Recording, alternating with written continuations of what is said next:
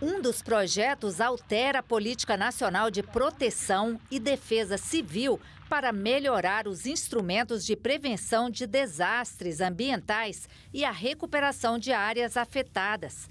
Entre as ações de prevenção, o texto prevê, por exemplo, o monitoramento em tempo real e a produção de alertas antecipados também estabelece que a recuperação de áreas afetadas deve acontecer de forma a reduzir os riscos enfrentados pelos moradores e prevenir a reincidência.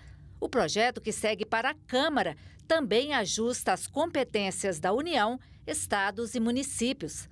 Outra proposta aprovada pela comissão estabelece incentivos fiscais para as empresas que recuperam pneus o texto, que será analisado pela Comissão de Assuntos Econômicos, reduz a zero as alíquotas do COFINS e PIS/PASEP que incidem sobre a receita bruta dessas empresas. A proposição se apresenta compatível com a legislação ambiental vigente e promove a redução da utilização dos recursos naturais, além da diminuição dos resíduos sólidos e poluentes produzido pelo descarte dos pneus. Um pneu de transporte nacional, ele pode ser reutilizado, pode ser feito reforma duas vezes.